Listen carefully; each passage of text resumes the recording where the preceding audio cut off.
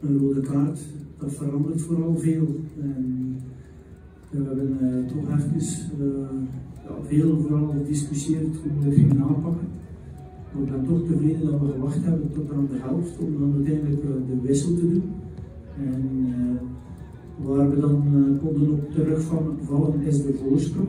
En opnieuw hebben we inderdaad gekozen voor vijf achteraan, drie ervoor die fantastisch weggeleverd hebben om alle lijnen ja, eigenlijk dicht te lopen. En uh, ook de bepaalde spelers proberen uit de wedstrijd te houden. En het enige dat we niet goed gedaan zijn, hebben is de stilstaande fases. En voor de rest, zelfs al heeft Beerschot geprobeerd met vier achteraan, met veel, veel mensen tussen de lijnen te spelen, afhaken, zijkanten, individuele dribbles, dan vond ik dat we vrij stabiel stonden te verdedigen. Alleen, stilstaande fases waren een drama. Nou, halen die bal, dan, dan begrijp ik wel dat hij zegt dat we genoeg kansen gehad. Die bal is drie, vier keer voorlangs gegaan.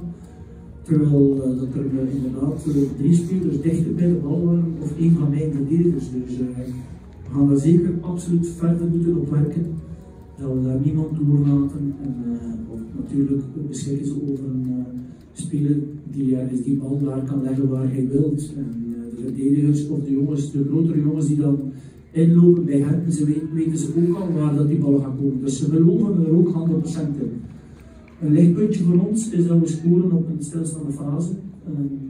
Waar we dan uh, ook op getraind hebben, waar we meer geloof krijgen in het elftal, dat we, uh, dat, we dat ook kunnen doen. En, uh, dit kan matchen openbreken, dit kan ons helpen om ja, de nodige punten te pakken in ons te hebben.